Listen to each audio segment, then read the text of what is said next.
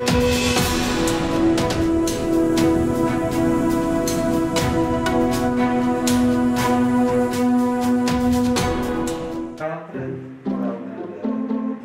A aldeia está ligada historicamente ao setor têxtil, mas as fábricas que a puseram no mapa encerraram uma a uma e são hoje uma boa memória. Mas em de Cima há quem não deixe morrer a arte da tecelagem manual, que segue o seu caminho com dois velhos tiares que pertenciam às antigas fábricas. Fui então falar com os senhores que ainda faziam, aliás, na altura já não, já não estavam a trabalhar, o tio João Romãozinho e a dona Ana, foram eles que me ensinaram e, entretanto, o tio João eh, ajudou-nos a montar o tiar montámos o teatro e pronto, depois foi pôr todo, todo o ensinamento na prática. Ricardo estava desempregado quando há quatro anos começou a trabalhar nesta arte. De lá para cá, encontrou ocupação noutras áreas, mas nunca abandonou os tiares, de onde saem peças únicas. Eu acho que acima de tudo a paixão e o gosto, porque atualmente eu faço isto, tenho encomendas e vários trabalhos, mas principalmente por gosto, sim. Porque não era uma coisa de todo que alguma vez pensasse fazer, não é?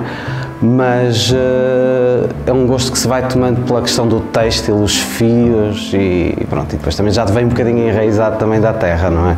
Deste aqui, que está montado com uma teia mais larga, daí tal, também a necessidade que surgiu são, saem as mantas, não é? Elas têm cerca de 1,65m, 1,70m de largura e depois de comprimento anda cerca dos 2,20m, mais ou menos. Porque também nunca é muito fácil acertar a medida. Mas pronto, este tiar está preparado só para mantas, peças grandes. Neste aqui saem então os tapetes, passadeiras e outras peças que também vou criando, com uma parceria que já tenho. A parceira é Cristina Gil, que morou durante várias décadas em Lisboa, mas cujos avós trabalharam nas fábricas de cebolais de cima. E houve uma oportunidade de voltar. Os meus filhos estavam cá e eu não me sentia muito bem em Lisboa, aliás, nunca gostei, e então uh, voltei. E ao voltar eu pensei, o que é que eu vou fazer? Pronto, não me estava a ver a olhar para as paredes. Além de ter uma série de gatos, pensei, vou-me dedicar ao crochê, porque era realmente aquilo que eu gostava. Uh, e criar uma marca que já tinha um, isso em mente há algum tempo. Portanto, criei a Cacau, que era um, o nome da primeira gata que eu tive e, aliás, o símbolo é inclusivamente uma gata com coração verde. As peças da cacau nascem nos dias de hoje, mas transportam consigo o passado fabril da aldeia, tendo como matéria-prima os fios das antigas fábricas. Tinha imensos fios, ainda um, em sacos, tudo cheio de pó, tudo, tudo, as paredes a cair, e eu fiquei muito emocionada com aquilo e o Ricardo é que me disse que se poderia fazer peças dali, coisas giras e não sei quê.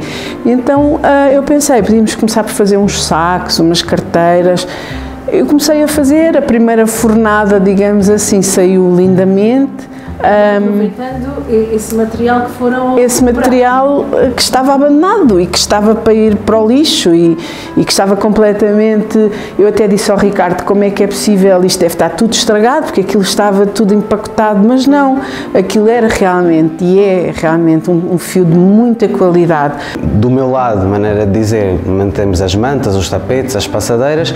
Com a Cristina surgiu um novo material, mas foi recuperado Melhor, foi recuperado um material antigo que estava abandonado sem valor comercial, mas que nós conseguimos transformar para criar novas peças completamente diferentes. Ricardo e Cristina são de gerações diferentes, mas unidos por uma mesma paixão.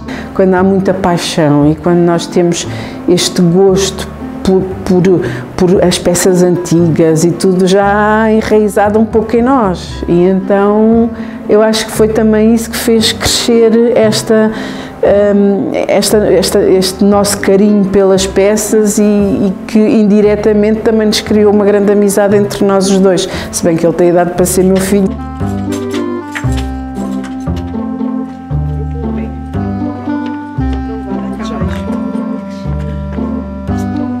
Tchau. Tchau. Tchau. Beijinhos.